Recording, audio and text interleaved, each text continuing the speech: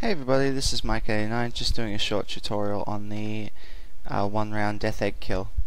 Uh, so I'm going to start just from the end of the Silver Sonic fight because if you're attempting to get 12 hits in the first round of this fight, I'm pretty sure you know how Silver Sonic goes by now.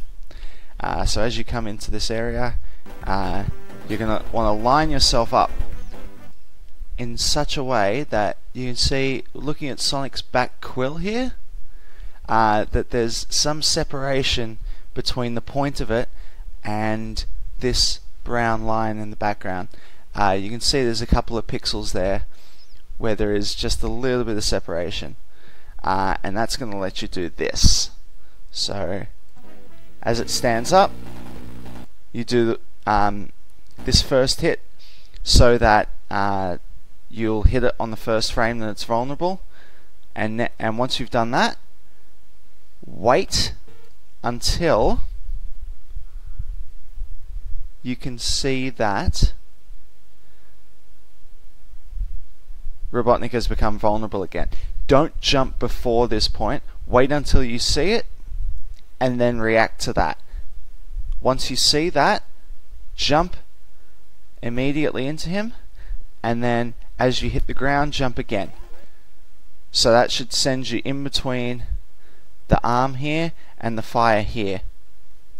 Uh, the really tricky bit is now uh, just before you get to the apex of the jump, so about here, you start holding left.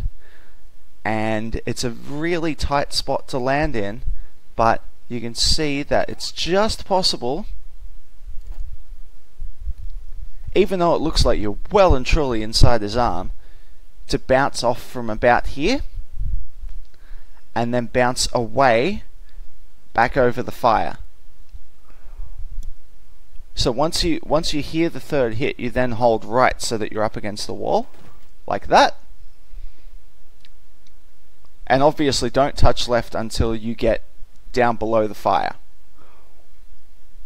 Um, so that's the really hard bit. But once you've done that, uh, hits 4 through 8 are no joke. You have to then go straight in, back out, go straight over, back out, go straight in. And there's not a lot of room for error between all of these hits. Um, and if you take too long between them, uh, when you try and get hit 8, there won't be enough room.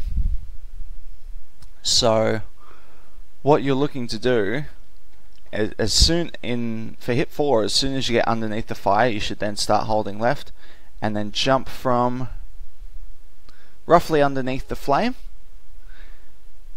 Uh, and that's a full jump. So uh, at, th at this point I'm not holding anything. And then when I land I, I start pressing left so I decelerate quicker and then jump out over the flame. Uh, when you get a hit at the top, again you um, let go of left for a few frames, and then as you get to about here, you start pressing it again so that you curl around underneath it, and again jump from about underneath the flame.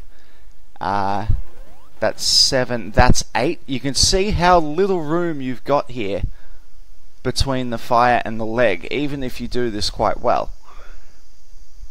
So hit 8 is probably the most difficult part. And then to do number 9, one more time, same as 5 and 7. And then the last three hits are exactly the same as they would be in any other iteration of this fight. So I'll just quickly go back so you can see that's 42. Um, I'll just quickly go back to the start of that fight and just play it through without any interruptions.